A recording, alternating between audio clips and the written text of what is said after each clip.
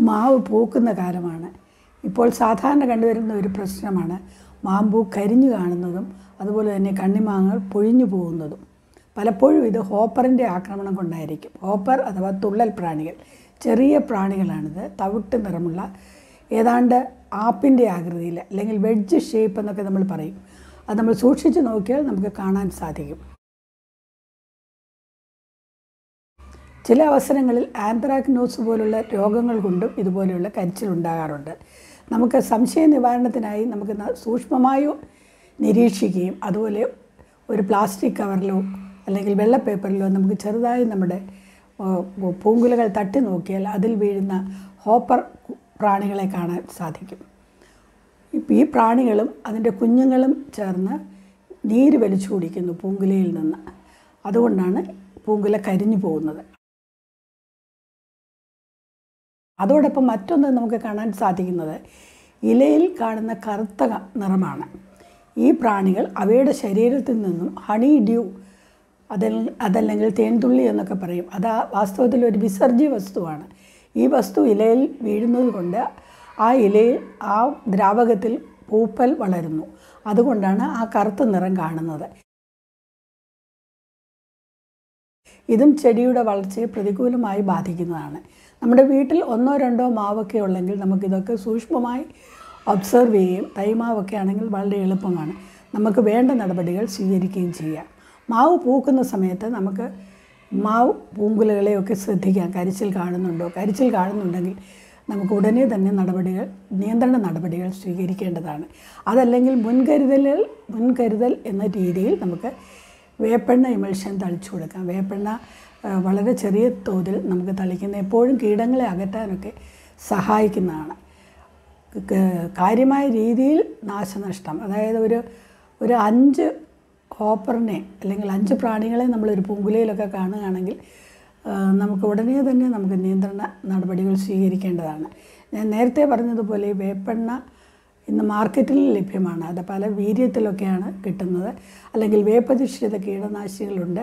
അതിൽ അസിഡറാക്റ്റിൻ അതായത് അതിന്റെ പ്രധാന ഘടകം അതിന് ഈ നിയന്ത്രണ ശേഷി നൽകുന്ന പ്രധാന ഘടകമാണ് അസിഡറാക്റ്റിൻ അതിന്റെ സ്ട്രെങ്ത് അത് രേഖപ്പെടുത്തിയിട്ടുണ്ടാകും.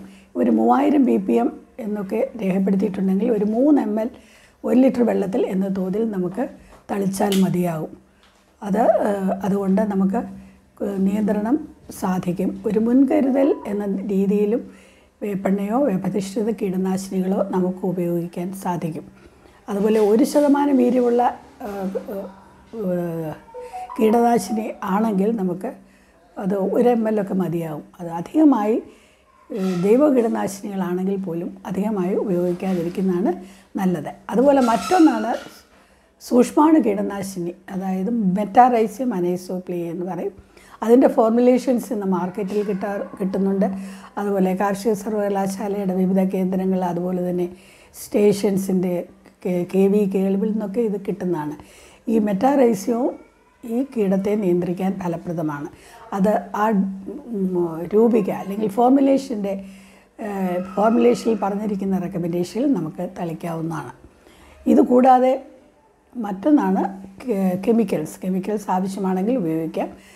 തയാമീതോക്സാം എന്ന് പറയുന്ന നീല ലേബലുള്ള കീടനാശിനി ഇതിനെതിരെ ഫലപ്രദമാണ്. അത് വളരെ കുറച്ച് തോതിൽ നമുക്ക് ഉപയോഗിച്ചാൽ മതിയാകും. ഏതാണ്ട് രണ്ട് ഗ്രാം പത്ത് ലിറ്റർ അല്ലെങ്കിൽ ദശാംശം രണ്ട് ഗ്രാം ഒരു ലിറ്ററിന് എന്ന തോതിൽ മതിയാവും ഇതും ഈ കീടത്തെ നിയന്ത്രിക്കാനായിട്ട് നല്ലതാണ്. യഥാസമയത്ത് നിയന്ത്രണ മാർഗങ്ങൾ എടുത്തില്ലെങ്കിൽ കാര്യമായ വിളനഷ്ടം ഉണ്ടാക്കുന്ന ഒരു കീടമാണ് ഈ തുള്ളൽ പ്രാണികൾ. ഇനി ആന്ത്രാക്നോസ് പോലെയുള്ള രോഗമാണെങ്കിൽ അതിന് നമുക്ക് മറ്റ് കുമിൾനാശിനികളാണ് ഉപയോഗിക്കേണ്ടത്. അതും വയവസ്റ്റൻ പോലെയൊക്കെയുള്ള കുമിൾനാശിനികളുമൊക്കെ അതിനെതിരെ ഫലപ്രദമാണ്.